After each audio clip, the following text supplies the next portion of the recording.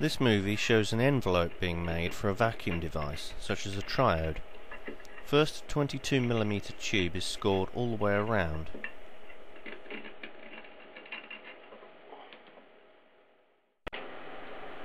The score mark is then moistened and heated using a nichrome wire. This cleanly severs the tube.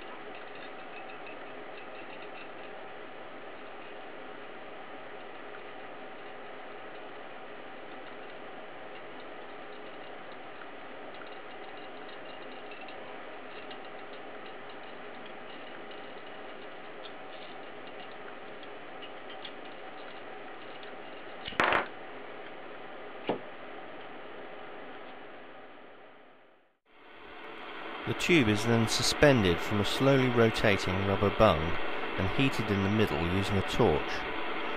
The tube eventually separates into two halves with cone-shaped ends. Each half can be used to make an envelope.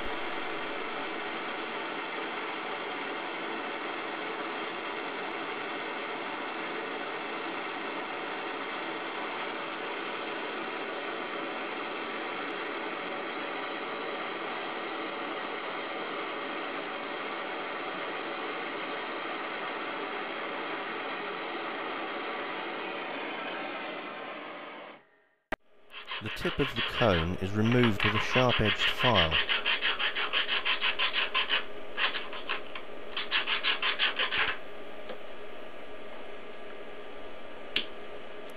The end is then squared up using a flat file.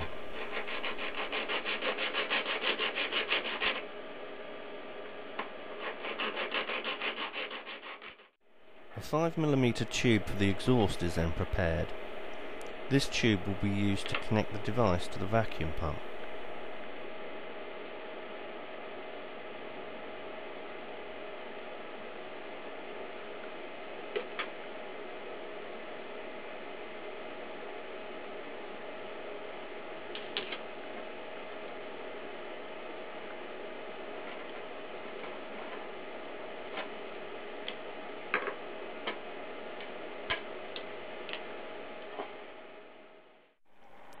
The envelope is then mounted on a rubber bung on the lathe and run as slowly as it will go. It is first gently heated using a yellow flame.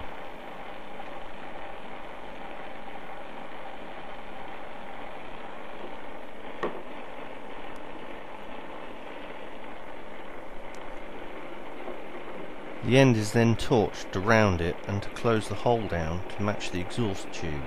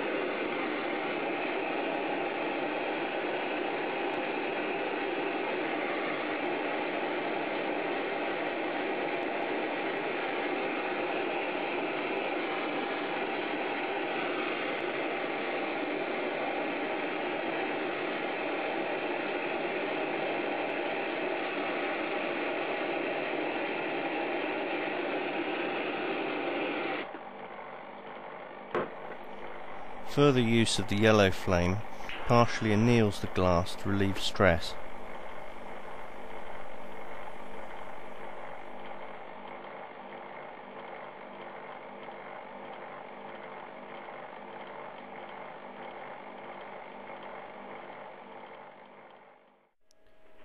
Joining the exhaust tube to the envelope is more easily accomplished using a simple jig. The exhaust tube is mounted on a rod which is threaded through the envelope and out through the back of the headstock of the lathe.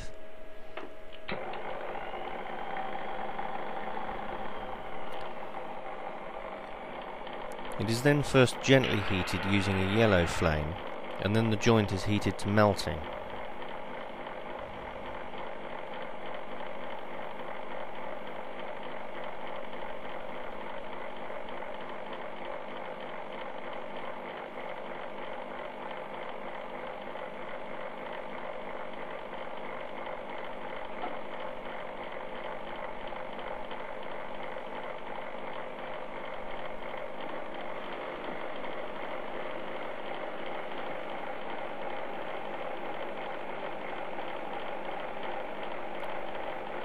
When the ends are glowing red, the lathe is stopped and the rod pulled and pushed to make the join.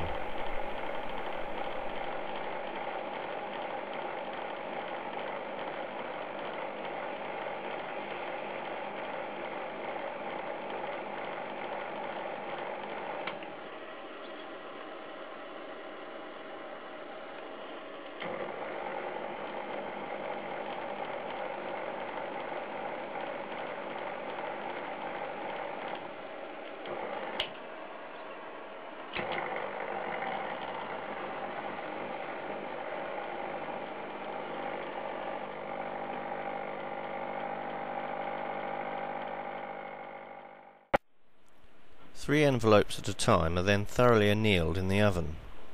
The glass type is Schott AR glass with an annealing point of 530 degrees centigrade. The oven controller slowly ramps the temperature up to the anneal point where it is maintained for 20 minutes before being ramped back down.